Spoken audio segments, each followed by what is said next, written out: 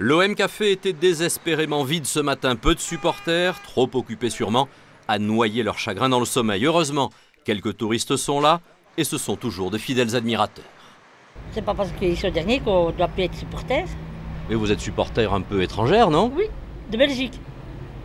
D'habitude, je suis pour Anderlecht en Belgique. Donc, euh, mais on aime bien Marseille.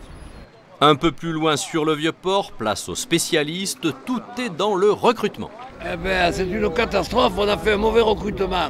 Ils se rendent pas compte que si j'étais moi le recruteur, j'aurais pas pris tous ces types-là comme ça. Question d'argent, Michel. Gignac, qu'il n'est pas bon. C'est vrai. Moi, je reconnais qu'il n'est pas bon. Et je crois qu'on a vendu un peu des bons joueurs. hein. On a vendu Taivo, on a vendu Enz, on a vendu Brandao. Et en ce moment, j'ai regardé, puis j'étais me coucher de colère. Il y a un qui me prend une infrature, là, je vais me coucher. hein. La plongée, elle est 20e.